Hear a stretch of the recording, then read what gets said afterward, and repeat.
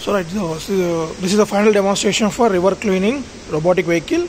So we have uh, developed and fabricated this model. Now in this version we added the like uh, roller mechanism to make the faster movement as we have seen the slower movements in our previous video. So now the first thing is when we are demonstrating this project we should keep this under the sky view. So that's why we keep it near the window so then only this GPS light will show the status of live location. Then only it can provide the live location. Then only we should place this in auto mode. Otherwise don't keep this in auto mode when there is no light over here. And uh, this GPS and uh, interface to the Raspberry Pi 4 through this USB to TTL converter. Why? Because uh, one hardware UART connection was connected to the Arduino Uno and uh, the camera will use it, uh, use it to provide the live streaming along with the like uh, image processing also. So we are uh, doing the image processing purposes. So we can see the live images on your mobile phone in this one. So we are going to dividing the section. So here we can see that the live images continuously transmitting. So in this one only like 50% will be captured for processing so total image is sending for the uh, user reference purpose but only 50% is captured and that will be processed. So when there is no like movement on the water surface if there is no objects on the water surface then it just keep on slowly moving towards forward movements. And if any obstacle detects it will take the right direction and it will check for uh, if there is no obstacle then it keep on moving. And the next option is so we have one more sensor. So here we place the right yeah. So this is a sensor to detect the trash bin full. So when the trash was full then we can see that the light indication over here. So when the trash was full then automatically it will start moving towards the home location. So how it can identify the home location means so when you keep this in auto mode before keeping that we should check the location. Means click on this. There you get the live location right so you should check that whether the live location is correct or not. After that only we should keep this in auto mode.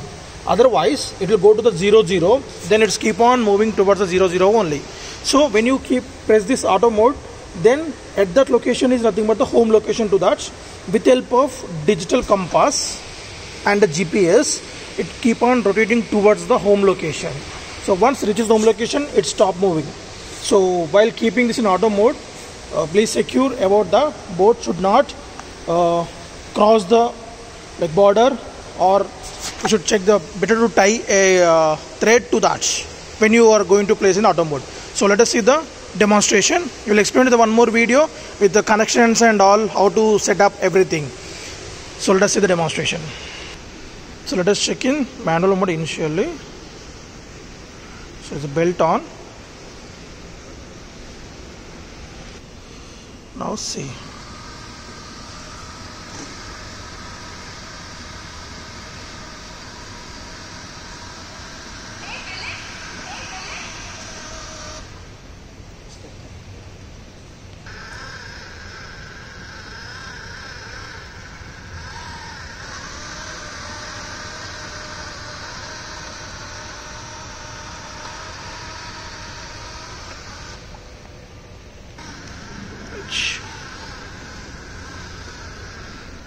right so when we place it in auto mode let us see that. So we're stopping the belt movement.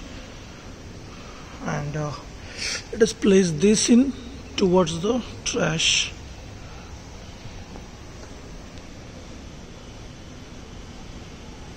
So when you place in auto mode our LCD display also will display that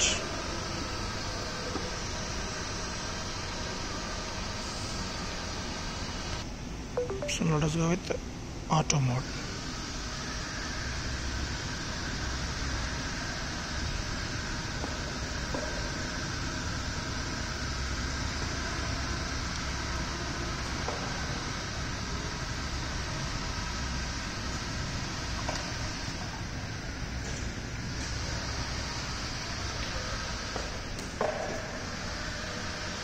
So it's working with bit slow.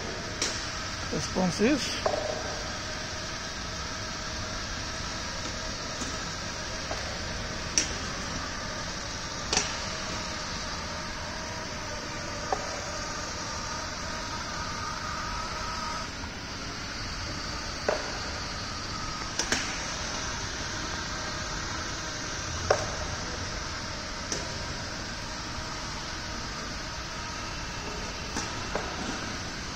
so the just it will look for the trash directly. So it's keep on turning the right slowly.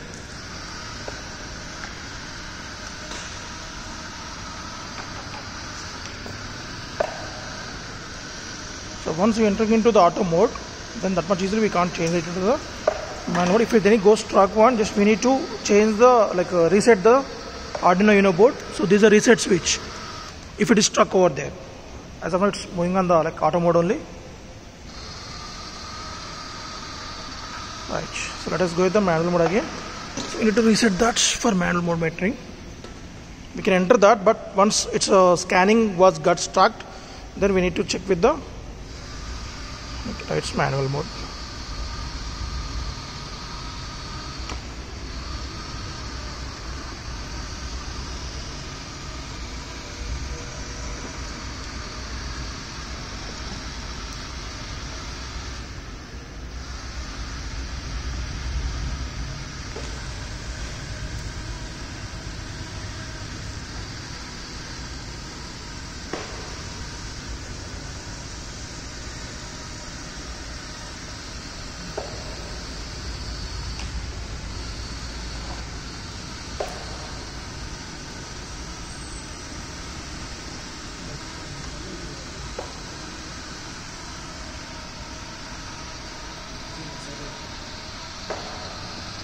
Right.